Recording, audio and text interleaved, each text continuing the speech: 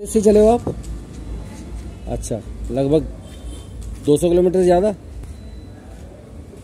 अच्छा तो अभी यहाँ से फिर वैष्णो देवी पहुँचेंगे आप। अच्छा तो यहाँ से तो बहुत समय लगेगा आपको वैष्णो देवी जाने में, हैं? तो तीन दिन और? तीन महीने? ओहो, तीन महीने और अभी आपको लगेगा। तो सुबह दस से और रात के आठ बजे तक बिल्कुल मौन व्रत रखते हैं आप। तो आपको चले हुए कितने टाइम हो गया? घर से घर से निकले हुए? लगभग।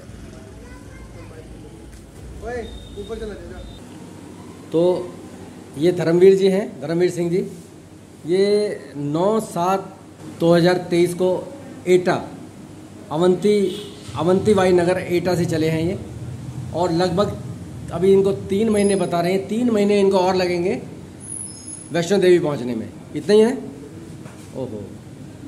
अभी इन्होंने सुबह 10 से लेकर रात के आठ बजे तक मौन व्रत रखा हुआ है। बिल्कुल। बिल्कुल मौन व्रत में है ये।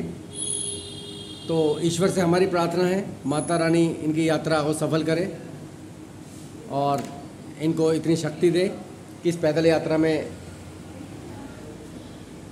बहुत बहुत ही मेहनत का काम है ये। बहुत, बिल्कुल भी आसान नहीं है कि चार महीने तक लगातार पैदल चलना, पैदल सारे शहरों में जाना और पहुँचना वहाँ पर। माता वैष्णो ये श्रद्धा है इनकी। कुछ बोला होता है ये लोग? आपने कुछ बोला था ये? नहीं नहीं, इनकी श्रद्धा है ये कि माता वैष्णो देवी की यात्रा एटा से बिल्कुल पैदल करेंगे ये और मौन व्रत रखेंगे। धर्मवीर सिंह जी, आपकी यात्रा शुभ हो। हमारी यही शुभकामनाएँ आपके साथ।